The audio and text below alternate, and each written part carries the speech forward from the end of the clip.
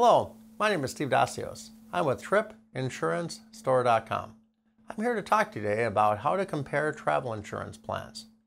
Travel insurance plans can be package plans that include various coverages such as trip cancellation, trip interruption, medical, evacuation, baggage, travel delay, rental car insurance, life insurance. So those are package plans. In addition, there's single risk plans like flight accident insurance, which means if you die in a plane crash, the money goes to your beneficiaries. Could have rental car insurance that covers damage to the vehicle while you have it on your trip. There's travel health plans that only cover the medical and evacuation. Now, as you're comparing travel insurance plans online, be sure to compare package plans to each other and single risk plans to each other. My name is Steve Dasseos. Thanks for watching.